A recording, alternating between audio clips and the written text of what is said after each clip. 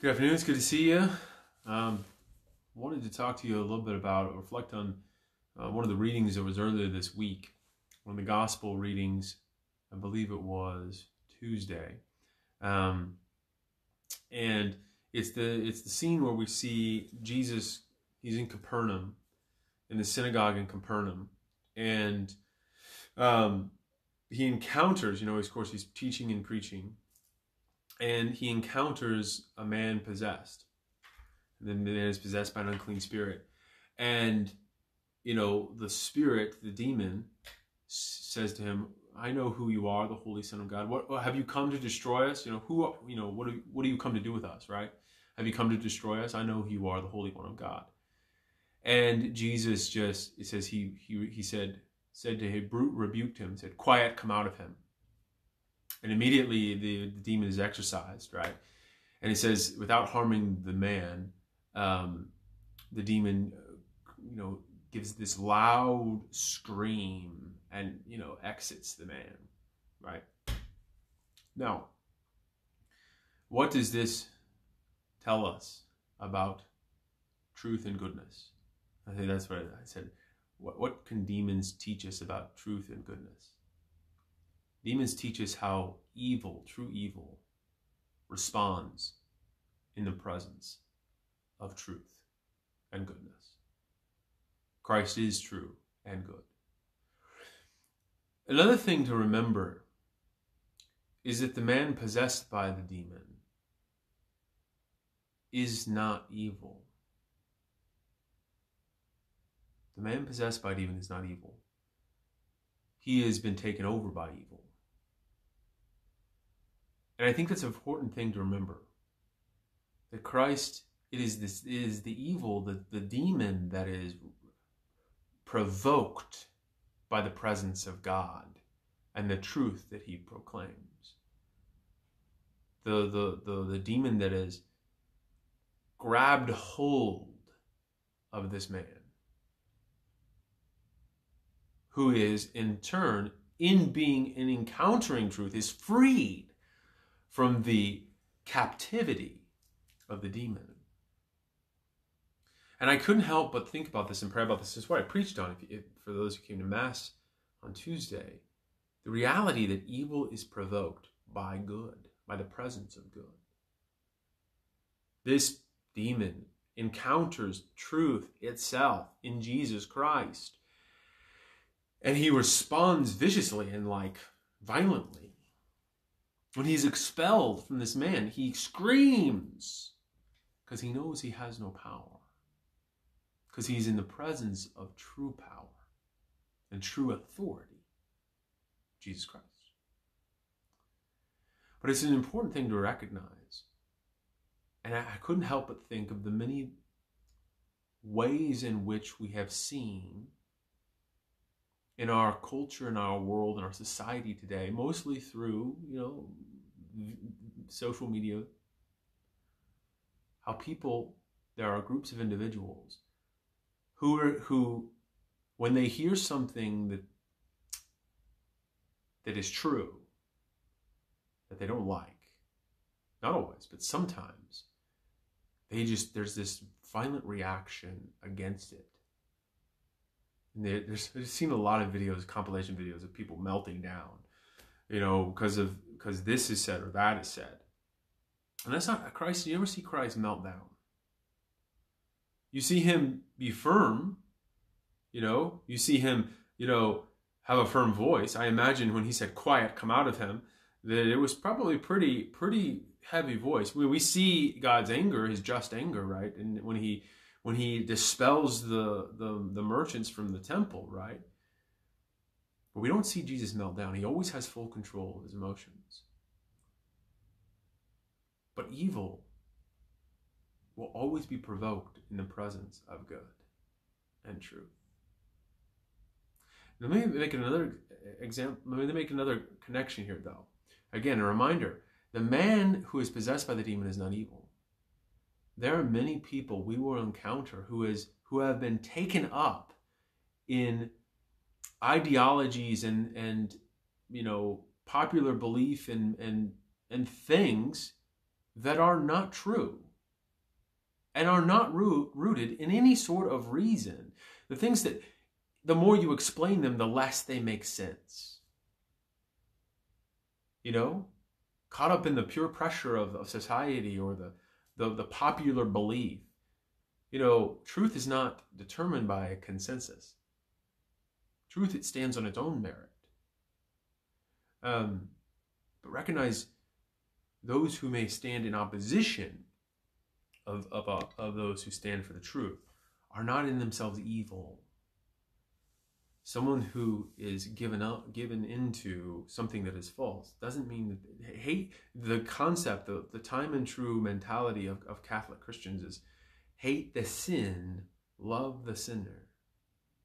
God loved this man who was possessed, who had been taken over, whether voluntarily or involuntarily, we don't know, but was taken over by and, and was found was was captive and, and, and held slave by this demon, by this false truth. And Christ, in, in speaking the truth with authority, frees him. And so we see how God reacts to us and, and, and engages in us. He wants to speak truth into our lives. And He has put people in our lives. He's given us the church. He's given us um, the saints and the, and the councils and, the, and, the, and scripture and tradition and all of these things to speak truth into our lives and to teach us how it is, what it is to truly live, to live a good and holy life, live a life of happiness and fulfillment because that life is in the is in conformity with truth the truth that he shows us and reveals to us. The truth that is written on our hearts. We naturally we know good and evil. It's written in our in our in our in our, in our dna we're made in the image and likeness of god right we know that it's not you know ask any child if it's okay for someone to steal take something that belongs to them they'll say no it's mine, right? But sometimes that's in a, a, a, little bit more of a possessive way, but still, there's a concept that thou shalt not steal, right? Um, so, to recognize that, we have to rec- distinguish the demon from the one being possessed by the demon.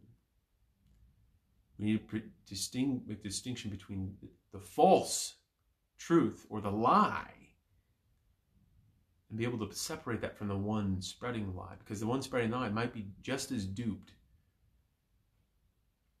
as the rest of the people in the room. Just, I mean, how many people have you said that I've seen also lots of conversations where someone is vehemently for something and in talking and having a conversation and explaining truth, they're like, oh, I see the, the lack of logic in my argument. I see now the truth, and, and now I see how the truth is desirable, even if I don't like it. Often, I think people don't, individuals, people, or groups of individuals don't want to accept the truth because they know that they have to change the way they're living.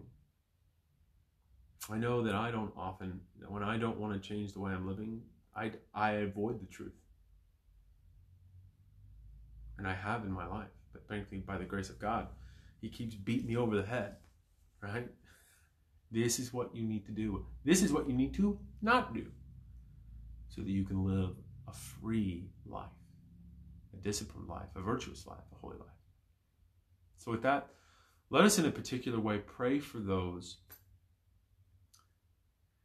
who stand in opposition to the truth, those who are have given in to the the popular lies of our time, and to pray for strength and in our own lives that we too will not be give, give, give way to the popular lies of our time, but root ourselves in Christ, the fullness of the truth, and His grace, His love, His mercy, and His justice, and true justice.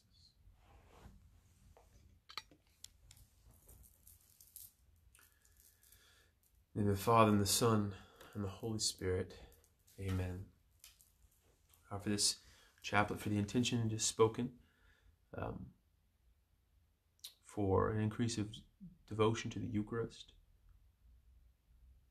in our lives and in our church, for the freedom to all be able to come back and, and, and be one with one another in, in, in each other's presence in the celebration of the Mass, for healing in our, in our homes, our society, in our church, and the world, for all those we love and promise to pray for. You expired, Jesus, but the source of life gushed forth for souls, and the ocean of mercy opened up for the whole world. O fount of life and fountain of divine mercy, envelop the whole world and empty yourself upon us. O blood and water, which gush forth in the heart of Jesus as a font of mercy for us, I trust in you. O blood and water, which gush forth in the heart of Jesus as a font of mercy for us, I trust in you. O blood and water, which gush forth in the heart of Jesus as a font of mercy for us, I trust in you. Our Father, who art in heaven, hallowed be thy name. Thy kingdom come, thy will be done on earth as it is in heaven. Give us this day our daily bread, and forgive us our trespasses, as we forgive those who trespass against us. And lead us not into temptation, but deliver us from evil. Amen. Hail Mary, full of grace, the Lord is with thee. Blessed art thou among women, and blessed is the fruit of thy womb, Jesus.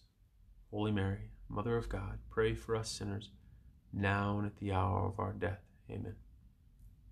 I believe in God, the Father Almighty, maker of heaven and earth, and Jesus Christ, his only Son, our Lord, who is conceived by the Holy Spirit, born of the Virgin Mary, suffered under Pontius Pilate, was crucified, died, and was buried. He ascended into hell, and on the third day he rose again from the dead. He ascended into heaven, and is seated at the right hand of God, the Father Almighty. From there he shall come to judge the living and the dead. I believe in the Holy Spirit, the Holy Catholic Church, the communion of saints, the forgiveness of sins, the resurrection of the body, and life everlasting. Amen. Eternal Father, I offer you the body and blood, soul and divinity of your dearly beloved Son, our Lord Jesus Christ, in atonement for our sins and those of the whole world. For the sake of his sorrowful passion, have mercy on us and on the whole world. For the sake of his sorrowful passion, have mercy on us and on the whole world. For the sake of his sorrowful passion, have mercy on us and on the whole world.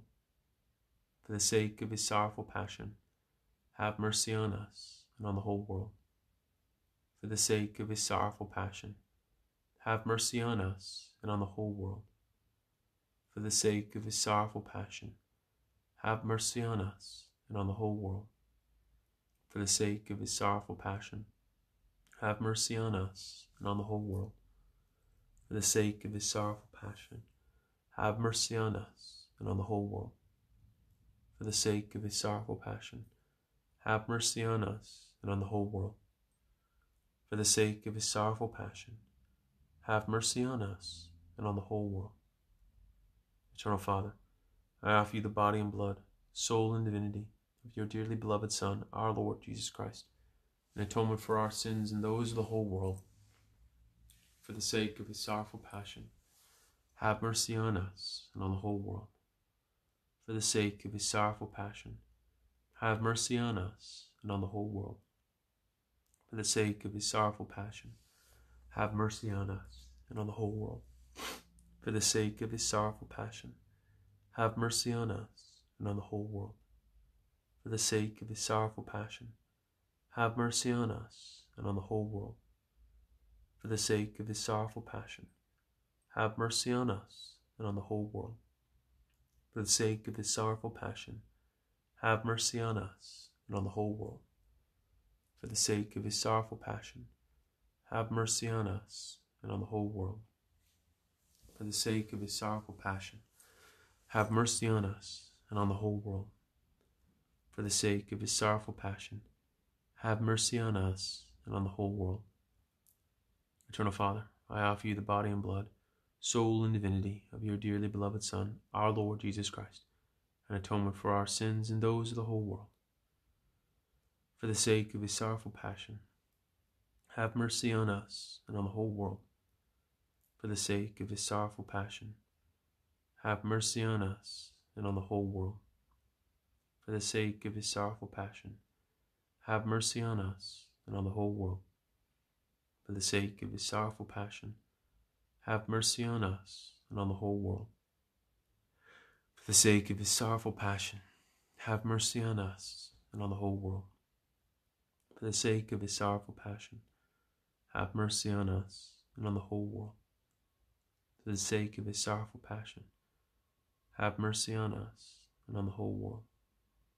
For the sake of his sorrowful passion, have mercy on us and on the whole world. For the sake of his sorrowful passion, have mercy on us and on the whole world.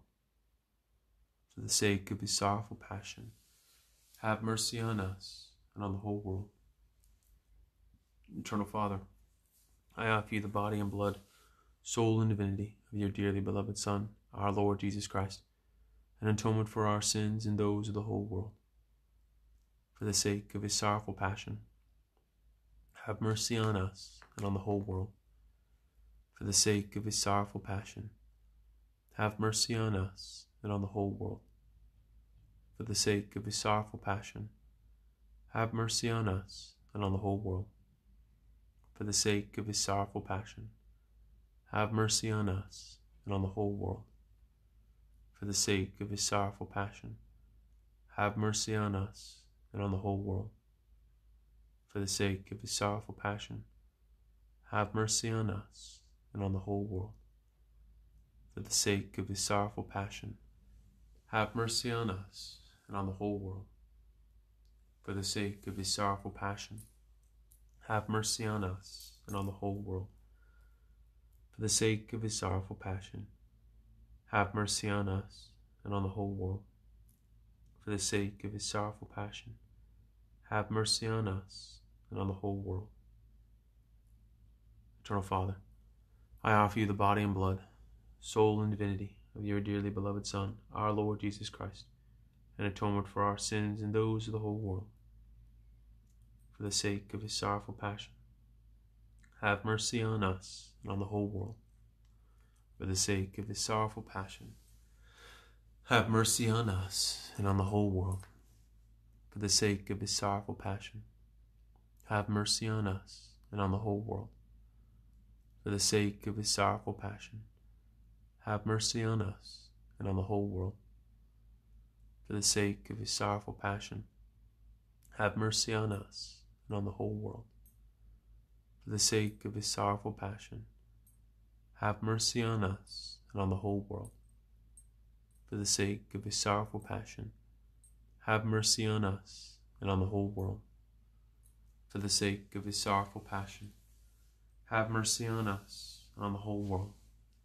For the sake of his sorrowful passion, have mercy on us and on the whole world. For the sake of his sorrowful passion, have mercy on us and on the whole world. Holy God, Holy Mighty One, Holy Immortal One, have mercy on us and on the whole world. Holy God, Holy Mighty One, Holy Immortal One, have mercy on us and on the whole world. Holy God, Holy Mighty One, Holy Immortal One, have mercy on us and on the whole world. Jesus, I trust in you. Jesus, I trust in you. Jesus, I trust in you. Eternal God, in whom mercy is endless and the treasure of compassion inexhaustible, look kindly upon us and increase your mercy in us, that in difficult moments we may not despair nor become despondent, but with great confidence submit ourselves to your holy will, which is love and mercy itself. Saint Michael the Archangel, defend us in battle and be our protection against the wickedness and snares of the devil. May God rebuke him, we humbly pray. And do thou, O Prince of the heavenly host, by the power of God, thrust into hell Satan and all evil spirits who prowl about the world, seeking the ruin of souls. Amen. O most sacred heart of Jesus, have mercy on us. Immaculate heart of Mary, pray for us. Mary conceived without sin, pray for us. Saint Joseph, pray for us. Saint Faustina, pray for us. Saint Andrew, Saint Francis Xavier, and all our patron saints, pray for us. Father Cape and all the angels and saints in heaven, pray for us. In the name of the Father, and the Son, and the Holy Spirit. Amen.